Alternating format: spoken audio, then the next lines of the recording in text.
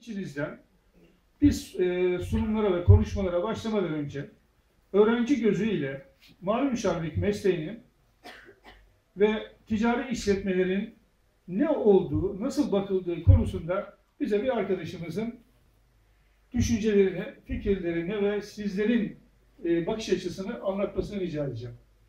E, piyasaya atıldığımızda ne gibi zorluklarla karşılaşacağımızı bilmiyoruz. E, hangi mesleği seçeceğimizi gerçekten bilmiyoruz. Okulda bazı eğitimler alıyoruz evet ama e, bu yönden bence çok eksiyiz. İşin mali yönden nasıl geliştiğini, şimdi okulda bazı eğitimler alıyoruz ama e, sahaya indiğimizde ne gibi problemlerle karşılaşacağımızı bilmiyoruz. Bu tarz hani e, konularda bizi biraz daha aydınlatırsanız biz çok seviniriz Burhan Bey. Nasıl görüyorsunuz muhasebe mesleğini? Arkadaşlar nasıl bir gözle bakıyor? Şu anda biz okulda kendimden hani örnek vererek söyleyeyim. Muhasebe mesleğine değil de dersleri nasıl geçeceğimize baktığımızdan dolayı biraz da e, o işin kısmıyla henüz ilgilenemiyoruz.